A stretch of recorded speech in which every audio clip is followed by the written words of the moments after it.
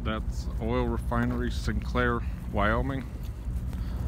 It's the biggest refinery in the state, to my knowledge. It's where they make the uh, world famous uh, Sinclair uh, gasoline stations, town of Sinclair, Wyoming. So uh, that's what they have going on.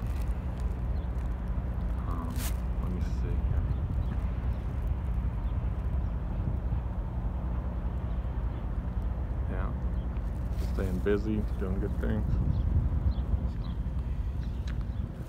That's about it. Just uh, right in the middle of the state. Not too much around here.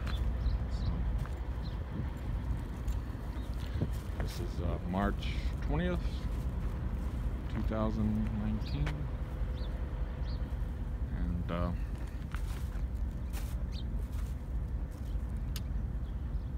you can see, uh, it's about uh, roughly 30 degrees today, right now, but uh, overnight,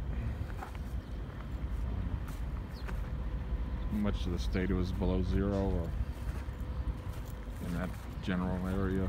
So pretty interesting last night. But this is uh, what we get today. So thank you for watching and uh, like, share, and subscribe.